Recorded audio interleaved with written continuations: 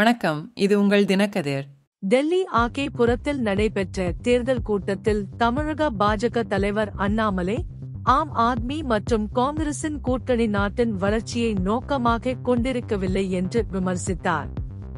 டெல்லி முதல்வர் அரவிந்த் கெஜ்ரிவாலை குறிவைத்த அவர் ஊழலை ஒழிப்பதாகவும் காங்கிரசுடன் கூட்டணி வைப்பதை தவிர்ப்பதாகவும் கெஜ்ரிவால் ஆரம்பத்தில் வாக்குறுதி அளித்திருந்தார். ஆனால் இப்போது டெல்லியில் மக்களவைத் தேர்தலில் அவர்களுடன் ஒத்துழைக்கிறார் என்று சுட்டிக்காட்டினார். காங்கிரஸ் தலைவர் ராகுல் காந்தியின் சமீபத்திய அறிக்கையை அண்ணாமலை முன்னிலைப்படுத்தினார். அவர் பஞ்சாபில் தனித்தனியாக போட்டியிடும் போது டெல்லியில் காங்கிரசுக்கும் ஆம் ஆத்மிக்கும் இடையே பரஸ்பர வாக்களிப்பு ஆதரவை குறிப்பிட்டார்.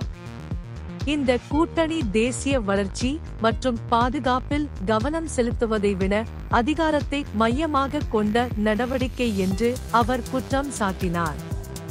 சுவாதி மாலிவால் மீதான தாக்குதலுக்கு பதிலளித்த அண்ணாமலை ஆம் ஆத்மி கட்சியின் ஆட்சியை விமர்சித்தார். ஒரு ராஜ்யசபா எம்பி கூட முதலமைச்சரின் இல்லத்திற்குள் பாதுகாப்பாக இல்லை என்று கூறினார். தற்போதைய நிர்வாகம் நீதியை வழங்க தவறிவிட்டதாக அவர் கருத்து தெரிவித்தார்.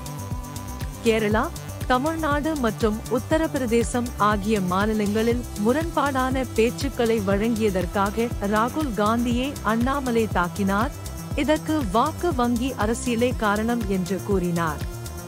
புது தில்லியை உலகளாவிய நகரமாகவும் தேசிய தலைநகராகவும் மேம்படுத்துவது நாட்டின் ஒட்டுமொத்த முன்னேற்றத்திற்கு முக்கியமானது என்று அவர் வலியுறுத்தினார்.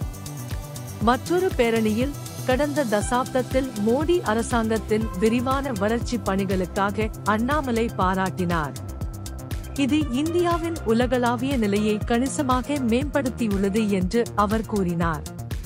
பத்தொன்பது எழுபத்தைந்து இல் ஜனநாயகத்திற்கு எதிரான காங்கிரசின் கடந்த கால நடவடிக்கைகளை நினைவு கூர்ந்த அவர் டெல்லியில் உள்ள ஏழு இடங்களையும் கைப்பற்றி அடுத்த ஆண்டு கெஜ்ரிவால் நிர்வாகத்தை கவிழ்க்க வேண்டும் என்று பாஜகவை வலியுறுத்தினார்.